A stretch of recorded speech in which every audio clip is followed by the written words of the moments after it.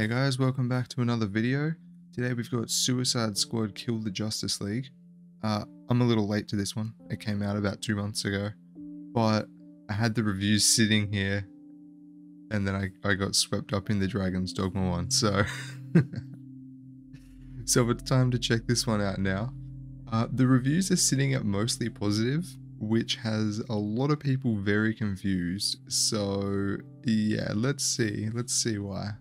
Alright, so this person just says, I have less shame in admitting to owning porn games than I do with this game. It's just that bad. Oh no, this game's just tearing friendships apart, making people embarrassed to even say. They're trying to hide it from their Steam libraries. Oh my god. Either you die as Rocksteady, or you live long enough to see yourself become rock bottom. These poor developers, man, this is gonna ruin them. This is actually gonna ruin them. Throwing your money into a bonfire is a better decision than buying this game. That's rough too, because this person's at 7.2 hours, so they cannot get a refund now. That's unlucky. That's a waste of that's a waste of a lot of money. Alright, so this person's review I was a little bit confused by. But it says paying for skins in a single player experience is cringe. Warner Brothers being a good company challenge impossible. So I thought that this was a online live service game. And I'm just checking Steam now yeah, I mean, it's got online co op and it has cross platform multiplayer as well. I thought it was a live service game. And like I've always said, if they're continuing to develop the game and it's still continuing to give them costs, I think they should be allowed to try and get some money back after the original point of sale to keep paying for those servers and stuff. So, I don't know. So this person looks like they got a bit scammed. It says playtime says 5 hours, but the reality is I got to play the tutorial for 11 minutes. Since then, I've never been able to get into the game again. I got $6.84 per minute of playtime here. My refund got declined too. Should've got a hooker instead. yeah, that's that's no good. Oh yeah, 5.8 hours on record. I feel like when I crash, if I crash on a on a situation like that, I end up refunding so fast. I'm quick on that refund button. I refund stuff even if I only paid a couple of dollars for it, just because like why why would I not? Man, I refunded Lord of the Rings, Lego Lord of the Rings. I refunded because I wanted to play it on stream, but it wouldn't go windowed full screen mode, so I couldn't uh, capture it properly with OBS. So I refunded it because I don't need it. If I can't use it for the purpose that I wanted it for, I don't need it. It's out of here. All right, so we got a trickster here. I bought it to see if it really that bad. It that bad and then they've refunded it after an hour. what a menace. What a menace to society. Alright, we love a good meme. This person just put the are you winning son meme up, but it just says are you wasting money again son? Product refunded after 1.8 hours. They probably bought it, took 1.8 hours to think of this masterpiece, and then they were like, alright, my work here is done. I've saved Gotham. Alright, so this person's got 15 hours on record, so maybe we can trust their opinion.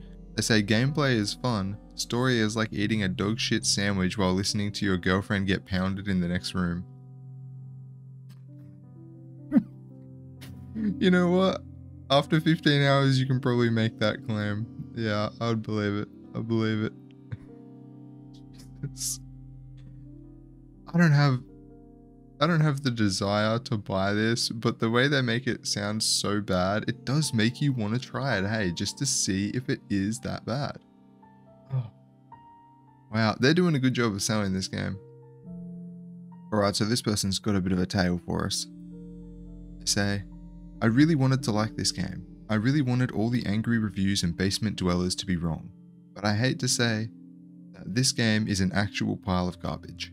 The same mission over and over again with slight variations, the guns don't do much, and worst of all, is this is supposed to be within the Arkham verse, which means that the deaths of some of the Justice League members are all the more disappointing. Choosing to play this game is like choosing to have your beautiful trophy wife of 8 years kick you in the balls and sleep with another guy right in front of you. If you play this game and you enjoy it, you are definitely a cuck. So there you have it. There you have it the longest review that we have on record here. And it still ends with calling people a cuck. oh god. These people hate this game. Alright, so it looks like we've got a bit of a uh, recipe here. How to play Suicide Squad Kill Rocksteady Studios. 1. Buy the game. 2. Launch the game for 10 minutes. 3. Exit the game. 4. Write a negative review. 5. Issue a refund. And ignore the first 150 positive reviews that appeared in one second with similar wording. It's not suspicious. So, there's a lot of reviews that are wondering how this game has mostly positive when the game was dead on arrival. Now, I'm to bring up the Steam charts real quick and we'll just see. Right, so I've brought up the Steam charts here. Now, obviously this is not completely accurate to what they were talking about at the time because I've just brought this up now and I'm about a month and a half too late, but that's fine. So you can see we've got 892 players right now with a 1200 player peak over the last day. But when you compare that to the all-time peak of two months ago, 13,500, it's a big drop. That is a big drop of players. That's bad. So even in its absolute highest peak when it first released, it was only at 13,500.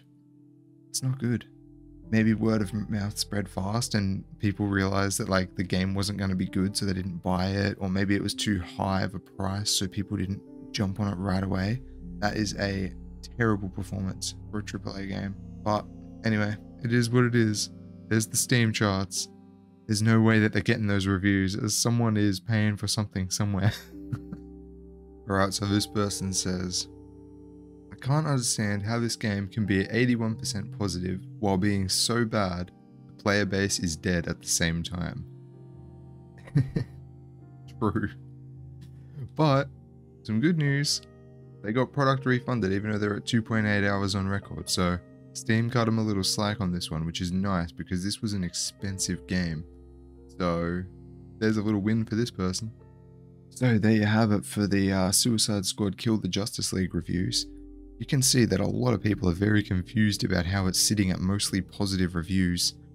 Right now, as I'm recording, 5,121 mostly positive reviews compared to 743 mixed reviews, which means that out of that earlier 13,500 peak of players, just under half of them not only even took the time to let to leave a review, but it was actually a positive review, which is just crazy.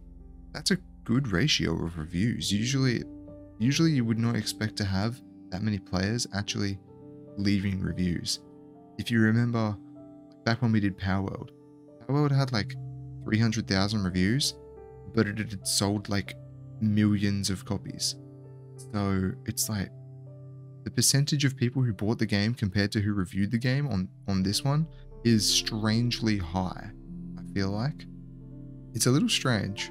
It is a little strange. I would have to look into seeing if there's uh, services that you can buy to like pay for good Steam reviews, or if they're offering something in the game where it's like if you leave us a good Steam review, you get this reward. Because for things like that, it's the only way that you could do it. You just don't get it. But yeah, if you like the video, make sure you like it. Uh, if you want more just stupid reviews like this, make sure you subscribe. I keep saying I'm gonna look into other reviews as well but then these are so fun. I, I keep getting distracted. I want to look for like Amazon product reviews and stuff because I know they're good. And even like Google reviews. Some Google reviews are really good too. So yeah. And while I was looking, I did notice even the positive reviews for some of these are very funny. So I might do some of those as well. We'll see what happens. But yeah, I'll see you in the next one. Bye bye.